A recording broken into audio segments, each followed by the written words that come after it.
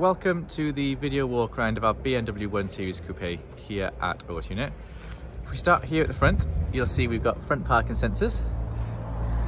We've got the 5 by well, 5 spoke alloy wheels and it's finished in a lovely, lovely black. If we come round to the rear, we've got rear parking sensors as well.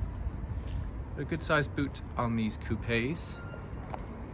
I mean, I'm not sure if you could, uh, you know, moonlight as a wardrobe deliverer, but it's a good sized boot for shopping or whatever. Come on here, I'll show you the interior, where we've got lovely leather sport seats. And if we hop in, we've got a lovely chunky leather wrapped steering wheel. We've got cruise control tucked away down here.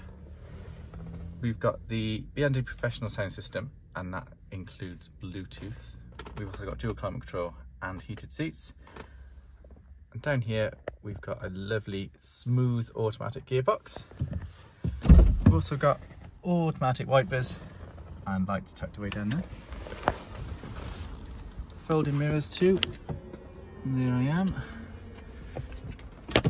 Rear seats, not a mark on them goes to the front as well actually and also these bolsters we can sort of suck in with the button by here